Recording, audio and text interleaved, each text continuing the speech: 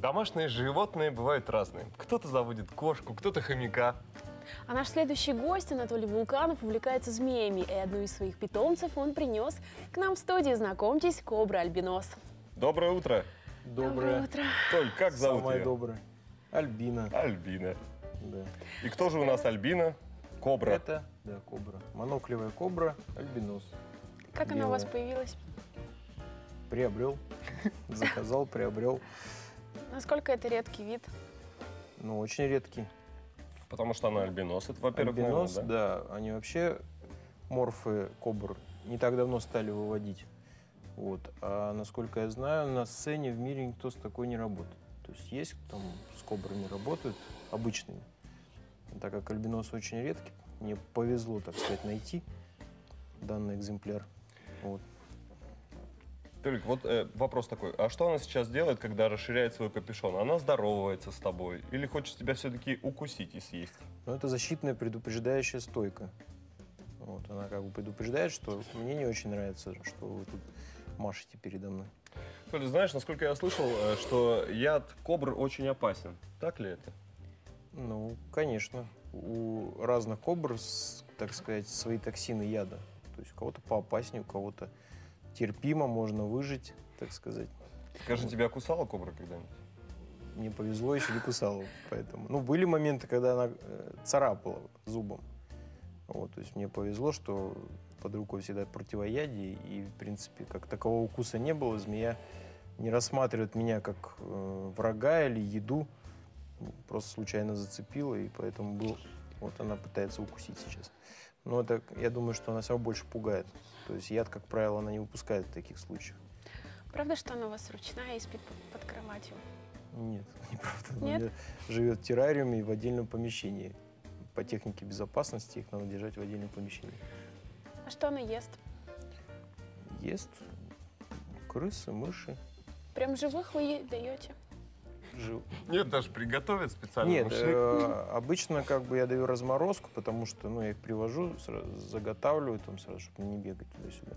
Размораживаю, делаю ну, там в теплой воде и даю, она съедает. Толя, ну ты все-таки каскадер, и, скажем так, змеи — это твоя работа. Э, Но много людей сейчас э, пытаются завести экзотичных животных, э, змей. Как ты считаешь, правильно это? Может ли обычный человек держать у себя, допустим, кобру?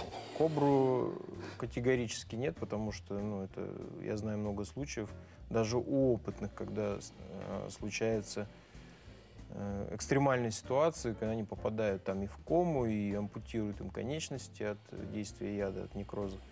Вот, поэтому здесь очень богатый опыт должен быть. У меня опыт уже более 10 лет работы со змеями. И только через 7 лет работы со змеями я стал приобретать вот таких вот уже более агрессивных питомцев и. Все мы помним вот эту картинку, когда сидит мужчина в челме, на дудочке играет, и кобра как бы, слушая его музыку, танцует. Она действительно слышит музыку и танцует или действует на дудочку, на движение? Ну, на самом деле, э, они э, не реагируют на музыку, они практически глухие. Они реагируют на вибрацию и на железку, которая перед ними машет. Вот. Но, насколько я знаю, на, в Таиланде, в Индии, там ими рты зашивают и удаляют эти клыки и железы. Ну, правда, они живут там буквально месяц, они потом новых берут. У них там миллионы, как крыс. Нет как бы проблем. Да, со а у нас, э, к сожалению, как бы это дорогая роскошь, роскошь, поэтому мы с ними долго знакомимся, готовимся, чтобы она долго жила, потому что такой экземпляр очень дорого стоит, и если его потерять, будет очень обидно. Толь, всем сейчас зрителям, наверное, интересно, сколько дорого, сколько стоит кобра? Ой, конечно, как повезет. Сейчас кризис все подорожало во много раз. А так экземпляры, ну, малыши дешевле, взрослые больше. Ну, больше 100 тысяч такие экземпляры стоят. Чем э, реже экземпляр, тем он дороже стоит. Есть по несколько миллионов стоит. То есть, допустим, это у нас моноклевая кобра, их уже давно, давно выводят. э, э, морфов, а появ- Мгм. появилась э, очковая кобра морф, вот почти такая же. Она там космических денег стоит даже, по-моему, продаже. Она знакомится просто. Даша, скажи, тебе нравятся змеи и хотела бы ты, может быть, завести? Нет, знаешь, у меня собака, и я люблю собак. У меня тоже есть собака, Да? кошка, да, просто змеи, ну, они существа необычные, и, наверное, в первую очередь это было для меня как хобби, а уже потом как работа.